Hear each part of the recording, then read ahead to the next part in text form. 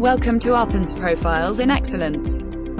Today's guest is Dr. Jennifer Clifford, a professor at the University of Massachusetts, who will speak about environmental economics within the business world.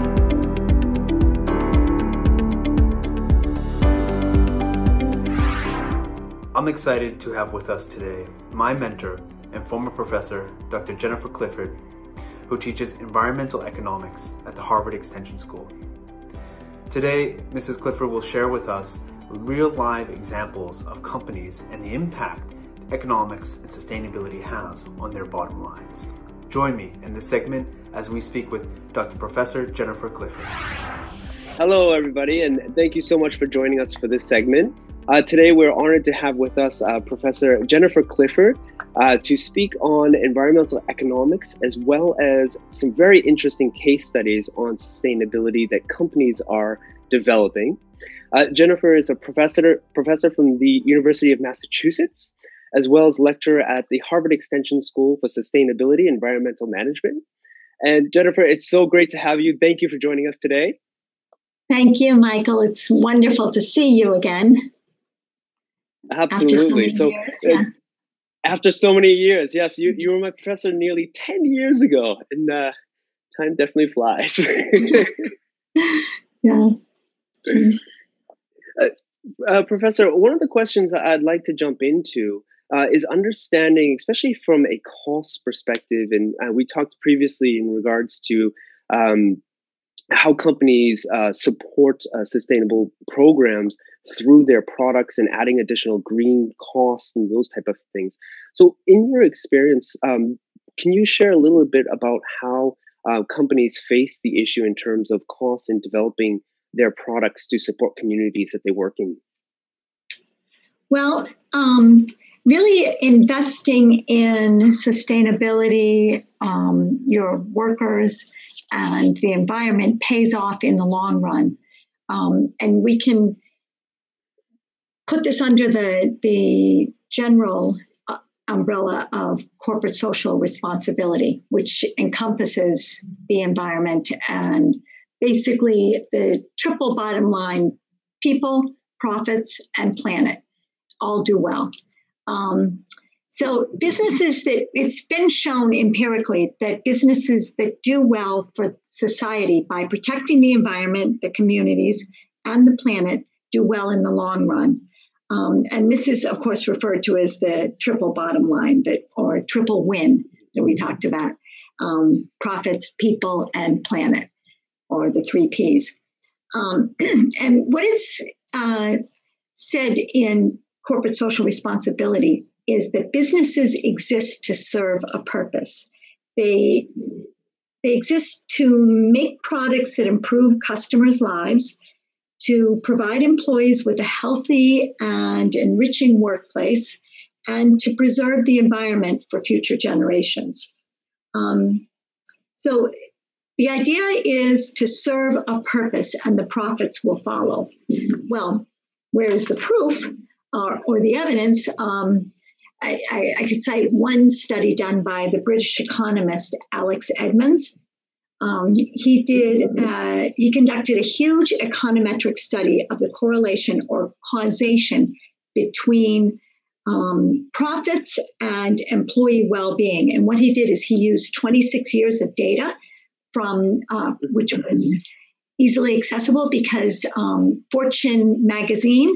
I'm sure you're uh, both familiar with is oh, um, absolutely. Yeah. Absolutely. Every year they name the 100 best companies to work for in America. And so he took the data from Fortune magazine, which um, considers both quantitative measures such as pay and benefits and qualitative measures such as trust in management, um, camaraderie with colleagues, um, and just pride in in job in their job. Um, so Fortune considers all of these things when they name the hundred best companies to work for.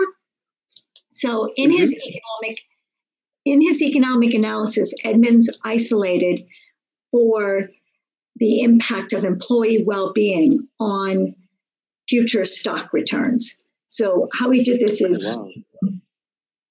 yeah, he controlled for all the other independent variables such as company size and all the you know there's there's um, dozens of variables that would go into this.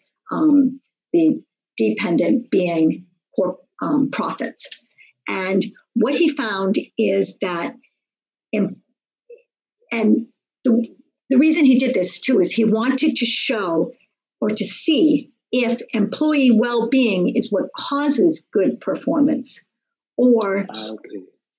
Yeah, rather than good performance allowing for companies to spend on employee well-being because we know that they're correlated but he was looking for causation and The order of causation. Yeah.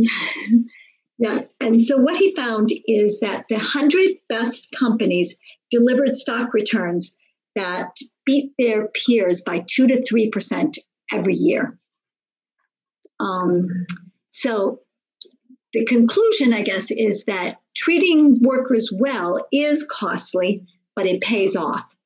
Um, some, it was thought at some time or by some companies to pay your little your workers as little as possible and work them as hard as you can but this does not pay off in the long run maybe in the short run but this is a, another reason to focus on the long run or the long term. Um, and yeah do you want do you want me to tell you about any in, investment funds or? Well, I, I think that's quite interesting because looking on the internal aspects of companies and how they, if they're making the investments not only for the well-being of their employees but the environments that they're working in, the the return that they see in-house is being made exponentially in terms of their revenue growth. Uh, Two to three percent is a significant amount if you're looking year over year.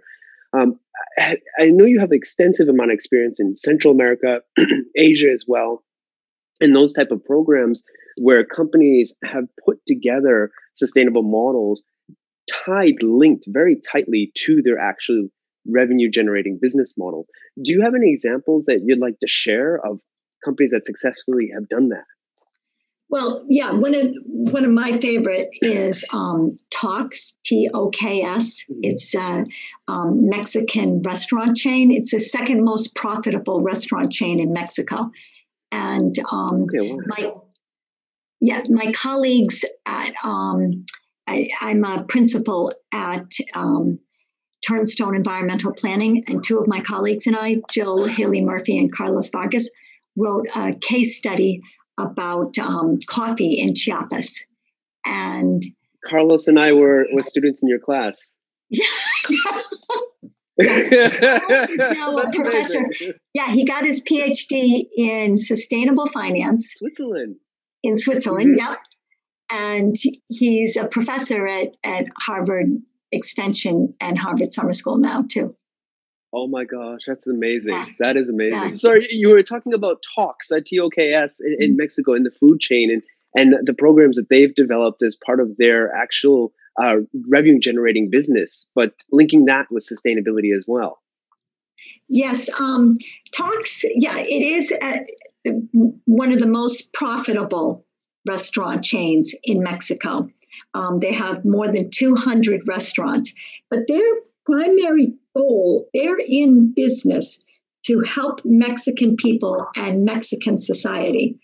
That's this is their overriding goal. Um, and one of their major goals is to prevent migration of people, Mexican people, to the United States. Because when you think about it, really, what mother wants their child to, especially be an illegal immigrant to another country? I mean, what could be more painful than that?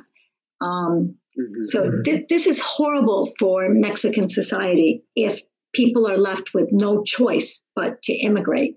So what Toks wants to do is provide economic opportunities in Mexico, and they they have done quite. They've had a lot of successful um, cases. The the case study that we wrote is about coffee farming in Chiapas, Mexico um, and how Toks helped.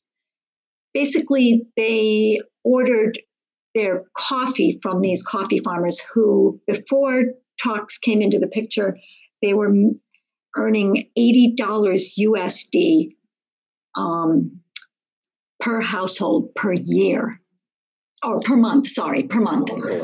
Still pretty big, yeah, for a household. Um, and Still Toks, yeah, um, Toks help them to become more productive and uh, invested in um, giving them pre-orders and improving productivity. A, a lot of the coffee plants were dying from this coffee rust leaf disease, La Roya, Okay. um, which was migrating north from South America because of climate change. And so they replaced a lot of the coffee plants, helped the farmers, and the um, now the the monthly household income went up to 500 USD from 80 with Toks help. Yeah, and they're So, expanding this return.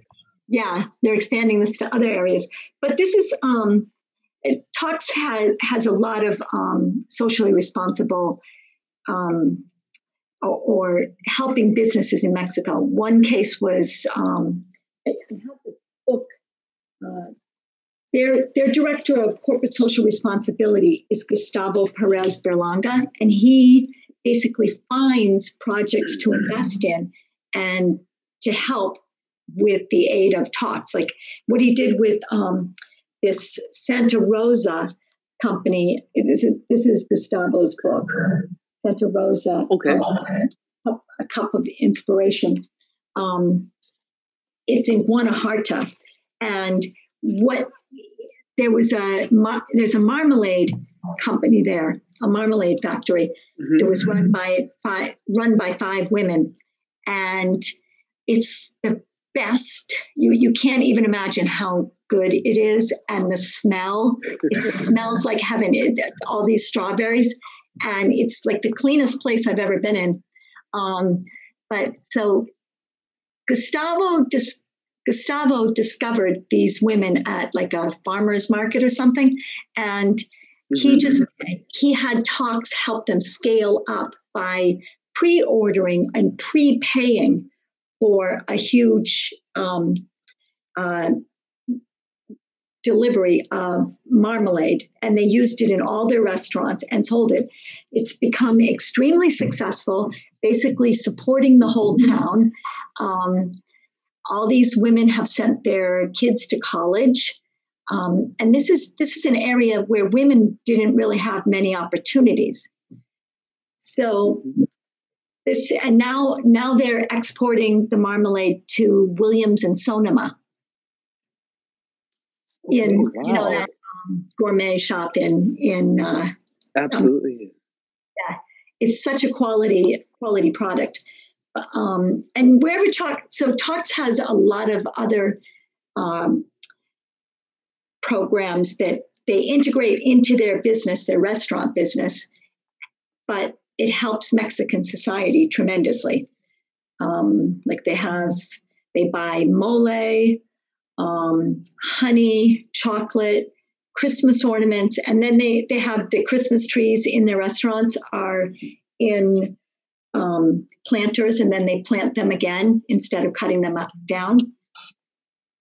And and um, they have this program Reintegra in Mexico City. It helps at risk youth by training them for different job skills, but it just runs through this attitude runs through the company um, i was thinking some their their ceo oh I, I think i sent you the case study did i michael i don't know if you had time to yeah Yes, you did. Yep. Yep. I've got it with me actually. um, the, C, the ceo the, the owner um, carla juan carlos alverde um, hmm when there was uh, um, it- when the earthquake happened in Mexico City, he was out personally, night after night, day after day, giving out water and helping people. You know, he, he could have just had other people do it, but he and his employees were were helping everyone. When there was a big flood in um, Villa, Villahermosa, um, what they did is they opened up the Toks restaurant and let everyone eat for free for two weeks, as long as it oh, lasted the effects of the flood. Um, and of course, now they have a tremendously loyal following that patronize them all the time. You know, so they they have a very good uh, reputation. That's for sure. So not only were they able to retain, but to develop talent in the local areas that they're working in, but also to build their brand reputation and, and loyalty. That, that's amazing. One of the questions I had on that is because we, we've looked at a lot of different companies that come up with programs that may be similar to these in various industries, everything from uh, F&B all the way over into logistical, including as well as pharmaceutical. But the question that I always have is, are these projects typically run or put together and inspired by specific individuals that have a passion themselves? Or do you think that there are processes, goals, or metrics that can be built into a company that helps to generate this inspiration in this in this corporate culture of driving sustainability without having one specific individual behind the scenes and their personal devotion. Because if you think about it in that regard, if that one person moved to a different role, moved to a different company, what could they leave standing behind that would continue to drive that? Well, I, I think I think you're right that it's it's both. Um, so a lot of times it comes from the the ownership or the beginning of the company. Um, and I think um, Alex Edmans gives an example of George Merck, who started Merck Pharmaceutical, and okay. they they were the first to produce penicillin in 1942. And he said that pharmaceutical companies exist to help people. That's that's the purpose of his company. Medicine and science is to help people. And he shared the the formula or um, the way of making penicillin um, large scale with all the competitors, which went on to save thousands and thousands of lives in World War II because of his decision. I read about that. He refused to patent it. He refused to to, uh, to exclusively patent it and and let everybody else use it. I guess today we would call that open source, but th- that's an amazing story. Uh, that's amazing in our in our company, uh, we're actually very fortunate is that the president of our company is passionately and very dedicated to developing sustainability. Uh, and just as small examples, we have with, within our corporation, we have two subdivisions, two separate entities. One called Renewable Now, uh, and another one called Arpin Strong, that is exclusively looking at focusing on developing projects, renewable energy, um, sustainability, uh, investing in technologies um, in our headquarters, for example, in Rhode Island, um, our gym is linked to the grid. So actually, when wow. you're on the treadmill, when you're using the exercise machines, it feeds into the grid. And right now, um, our our trucks as well. Uh, there was a project that was done a few years ago in, in with a, a, not so much a joint venture, but within cooperation with automotive companies to build solar panels on the roofs of the trucks that we use so that trucks no longer have to idle when they're parking or when they're unloading and they could actually use wow. the solar uh-huh. to to reduce the emissions and those kind of things and, these are just some examples that are amazing and you know from the Arpin Strong endeavor they work in mexico as well um, a lot in haiti and and development projects and rebuilding after uh, disaster relief and those kind of things and we and internationally because we have offices not just in Rhode Island, but we're in uh, London, we're in Frankfurt, Germany, we're in Dubai, uh, wow. obviously Shanghai, China, uh, Singapore as well. And what we see happening in the US has been a huge inspiration for what we can do locally and, and how we can build those projects here. But it always raised the question for me is if we want to keep that alive, if we want to really um, develop that as a culture within our company what can we set up that it doesn't have to be that you know our president who has a personal passion a lifelong commitment to it to keep it alive, to keep it moving, to keep it rolling forward. Do you think that goals and departments or structures are, are critical in that aspect? Or are there different ways that we can look at it? Well, I think that the, the passion of your CEO is one reason that the company is successful and this commitment, and that your company is able to like look at you to have employees who are passionate about the company and dedicated to the company. This is how you, you retain good employees with the good company environment, just like um, you know, pride in the in your work and pride in the company. So I think that this carries forward. Um, it's set set maybe set in the beginning by the president or founder, but it's now basically attracts people who care about that to work for your company and retains good people because of the, the company's commitment.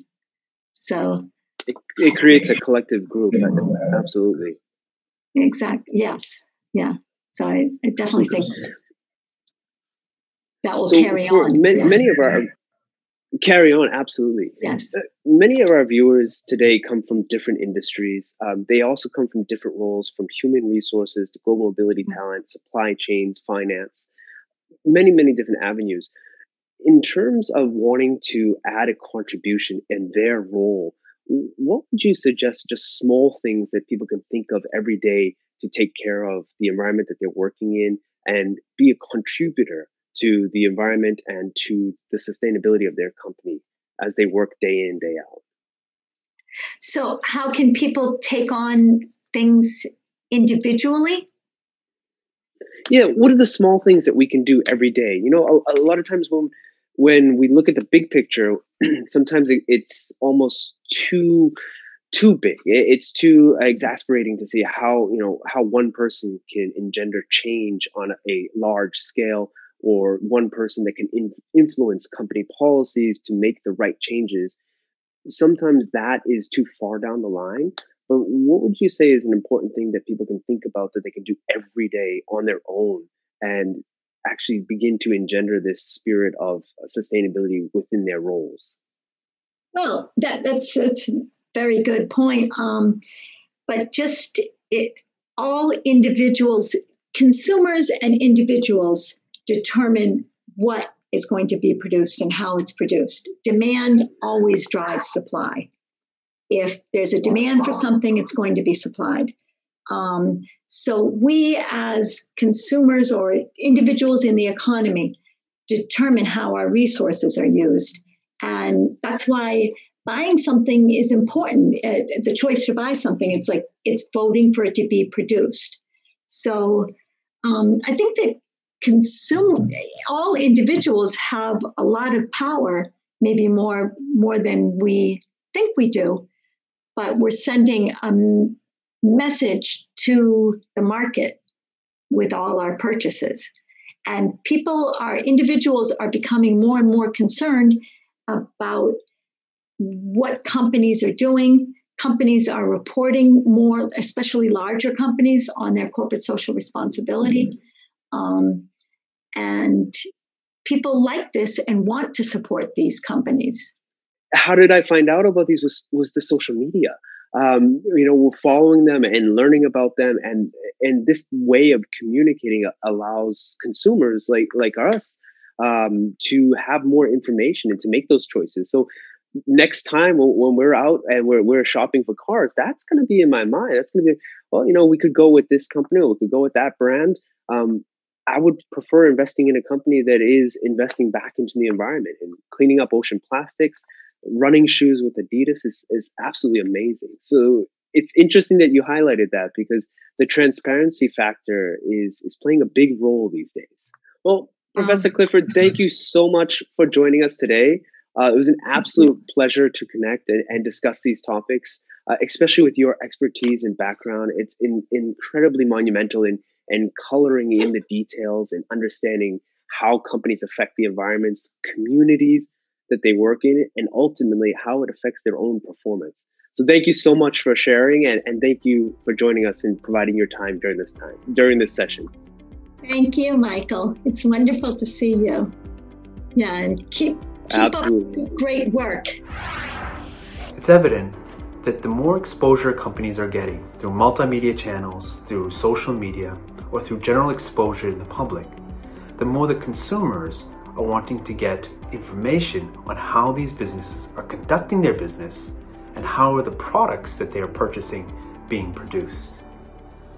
It's evident that through CSR, this is now becoming the measurement stick of which consumers are using to purchase or decide where to spend their money and with whom to spend their money. Thank you for watching the interview and we invite you to watch the next in the series. While you're here please subscribe to the ARPIN International Group channel. Thank you.